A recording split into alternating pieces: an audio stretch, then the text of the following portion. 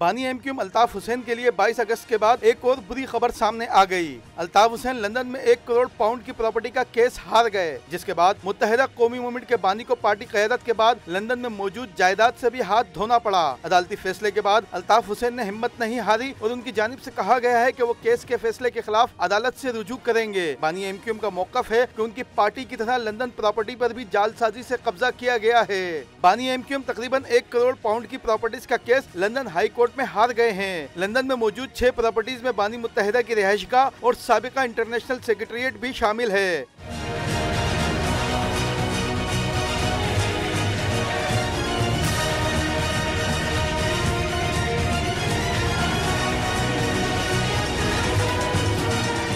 MQM Pakistan के रहनमा अमीनुल हक ने बानी मुतहदा और दीगर ट्रस्टीज के खिलाफ मुकदमा लंदन कोर्ट में दायर किया था। प्रॉपर्टी केस का फैसला high court of justice, business and property court of England and Wales के जज क्लाइव जोन्स ने सुनाया। फैसले के मुताबिक M Q M Pakistan London में बानी एम क्यू एम के जेर कंट्रोल छह प्रॉपर्टीज़ की असल मालिक है। अदालत में बानी एमक्यूएम ने मौकफ इख्तियार किया था कि असली एम क्यू एम वो चलाते हैं और वो एम क्यू एम असली नहीं, जो फारूक सत्तार ने हाईजेक की। जज ने अपने फैसले में लिखा है एमक्यूएम के बानी ने अपनी 23 अगस्त की तकरीर के बाद एमक्यूएम पाकिस्तान से इस्तीफा दे दिया था। इस फैसले से ये ज़ाहिर होता है कि जज ने खालिद मकबूल सिद्दीकी की जेर क्यादत एमक्यूएम पाकिस्तान के हक में और एमक्यूएम लंदन के खिलाफ फैसला दे दिया है। अब अगले मरहले में ट्रस्टीज के किरदार का फैसला किया जाएगा। फैसले में जज ने लिखा है एमक्यूएम पाकिस्तान के अमीनुल हक के वकील ने यह साबित कर दिया है कि एमक्यूएम का अप्रैल 2016 का आइन मंजूर किया गया था, जबकि 2015 का आइन मंजूर नहीं किया गया था।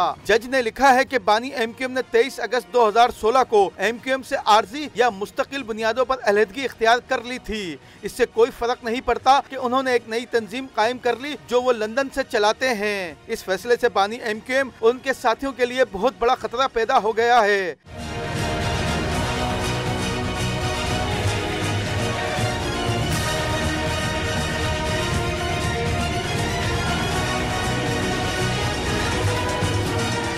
ये मुकदमा अमीनुल हक ने मुतहदा कौमी मूवमेंट पाकिस्तान के नुमाइंदे की हैसियत से पार्टी के बानी और दीगर ट्रस्टीज इकबाल हुसैन, तारिक मीर, मोहम्मद अनवर इफ्तार हुसैन, कासिम अली व यूरो प्रॉपर्टी डेवलपमेंट्स लिमिटेड के खिलाफ इस ट्रस्ट का कंट्रोल हासिल करने के लिए किया था।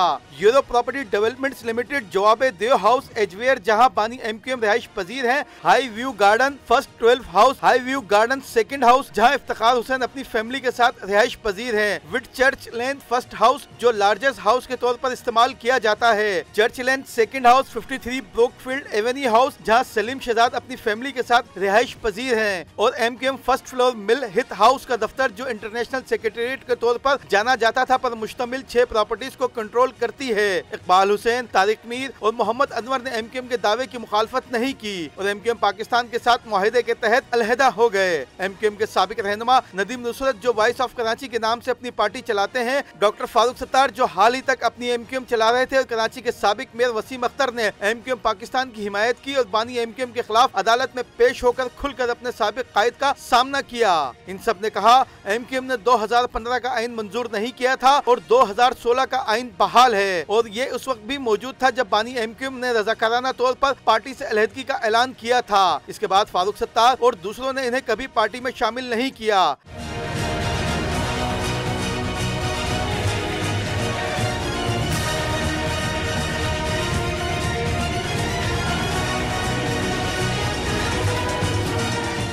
बरतानवी हाईकोर्ट के फैसले का ताल्लुक मुकदमे के पहले हिस्से के बारे में था और अब इसके दूसरे हिस्से की समात जल्द शुरू की जाएगी, जिसमें मुख्तलिफ़ अमूर बशमुल ट्रस्टीज के किरदार और एम के एम के नाम आरोप वसूल किए गए फंड को बेनिफिशरीज के लिए इस्तेमाल किया गया या नहीं जैसे अमूर शामिल होंगे।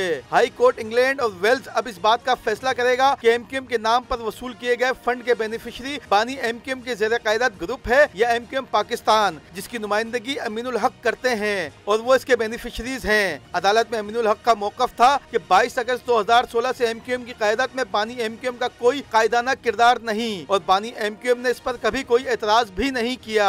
एमक्यूएम पाकिस्तान का कहना था कि 22 अगस्त 2016 को अपनी मुतनाज़ तकरीर के बाद, उनके माफ़ी नामे के बाद, उनके इंतज़ार का वक्त खत्म हो गया था। एमक्यूएम पाकिस्तान का कहना था की जो ट्रस्टीज है ट्रस्ट के माहे के मुताबिक नहीं चलाते और तमाम आमदनी और असासे अपने जाती मफाद के लिए इस्तेमाल करते हैं। इसलिए उन्हें ट्रस्टीज के अहदे हटा दिया जाए और उनका एहतसाब किया जाए।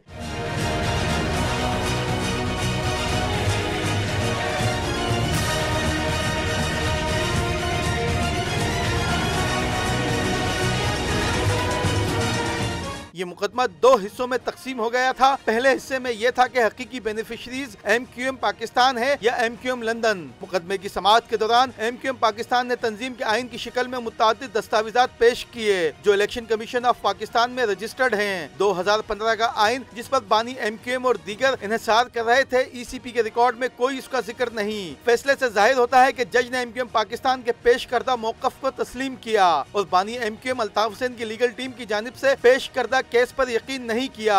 जज ने बानी एम क्यू एम का ये मौकफ तस्लीम किया कि उन्होंने 22 अगस्त 2015 को एक आइन की मंजूरी दी थी। जिसमें बेशुमार गलतियाँ थी। मुकदमे के पहले हिस्से की समाप्त के दौरान बानी एम की लीगल टीम को बेतहाशा मुश्किल का सामना भी करना पड़ा। पहला मरहला एम पाकिस्तान ने जीत लिया है और जज ने करार दिया है की एम पाकिस्तान ही असल एम क्यू एम हकीकी बेनिफिशरी है। मुकदमे के दूसरे मरहले में ट्रस्ट से वसूल करदा रकम के हवाले से एहतसाब होगा कि ये रकम बेनिफिशरीज के फ़ायदे के लिए इस्तेमाल की गई या नहीं। अगर उन्होंने ऐसा किया है तो उन्होंने अपने फराइज के खिलाफ वर्जी की है और अब ये सारी रकम वापस करना होगी। फैसले का नतीजा ये है कि अब ये फैसला करने के लिए कि इकतीस अगस्त या सितंबर 2016 को मंजूर की गई करारदादों में से अप्रैल 2016 के आइन की खिलाफ वर्जी हुई है या नहीं, इसके लिए मजीद एक समात की जाएगी। Rashid Siddiq, Prime News, Karachi.